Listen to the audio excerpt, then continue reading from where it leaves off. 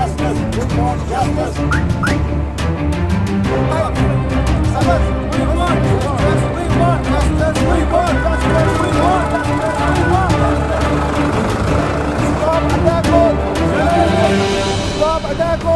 justice. We want justice. We want. Justice.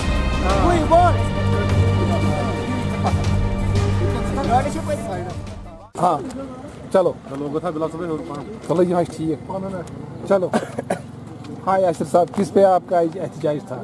دیکھیے پلوامہ کا جو میڈیا ہے اپنے فرائض انجام دینے میں مشہور ہے اور ہمیشہ جو ہے پلوامہ کے میڈیا پیش پیش رہے ہیں بے باکی سے اپنے فرائض انجام دیتے رہے ہیں اور خبریں پہنچاتے رہے ہیں۔ اور بار بار جو ہے سیکیورٹی فورسز کی طرف سے اور یہاں پہ جتنی بھی ایڈمنسٹریشن ہے پولیس ایڈمنسٹریشن کی طرف سے بار بار جو ہے نشانہ بنایا جاتا ہے۔ یہاں پہ جرنلسٹ کو زد کوفت کیا جاتا ہے۔ کئی سالوں سے یہ سلسلہ جاری ہے اور اسی میں آج ایک اور میڈیا پرسن جہانگیر ملک جن کا نام ہے، ان کو زد کوفت کیا گیا اور آج جو ہے پلوامہ کے تمام میڈیا پرسنز نے اسی چیز کو لے کے یہاں پہ احتجاج درج کروایا اور ہمارا مطالبہ یہی ہے ایس پی صاحب سے، ڈی سی صاحب سے اور جتنے بھی ڈیو کام صاحب ہے یا گورنر صاحب سے، ان سے ہمارے ہمارا یہی مطالبہ ہے کہ جو میڈیا پرسنز ہیں، ان پہ اٹیک نہ کیا جائے، ان کو ان کو جو ہے اپنے فرائض انجام دیا جانا چاہیے اور جو ہے باضابطہ طور پر جو فورسز ہوتی ہیں اگر کہیں پہ لا اینڈ آرڈر ہوتا ہے یا کہیں پہ ڈپلائمنٹ ہوتی ہے فورسز کو ان کو